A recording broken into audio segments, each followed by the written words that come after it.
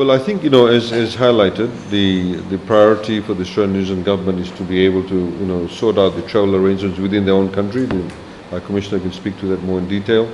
Uh, across the states, of course, we've seen that restrictions are, uh, sorry, travel uh, uh, has restrictions on it. And then, of course, they're looking at working between Australia and New Zealand. Um, our, our position was that, yes, we accept that, but we want to be able to know what can we do in the meantime to be able to prepare ourselves uh, in the event or when it does actually open up. So we need to be, you know, all geared up for that. Whether it's, uh, you know, regulatory frameworks in respect of medical protocols, etc., that we need to be developed. And we can start those conversations uh, now. We, we are still uh, working with New Zealand to put in place the Trans-Tasman bubble, and that is some time away.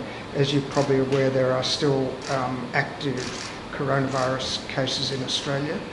Um, but once the work has been done to open up the Trans-Tasman bubble, um, we will look very quickly at including Fiji in that as well.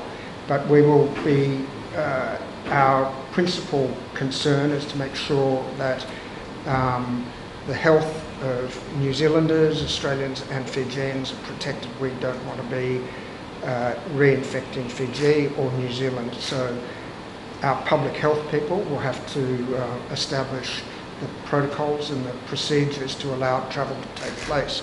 But I think the hard work will take place between Australia and New Zealand, and once that work is done, it will be very easily applied to Fiji.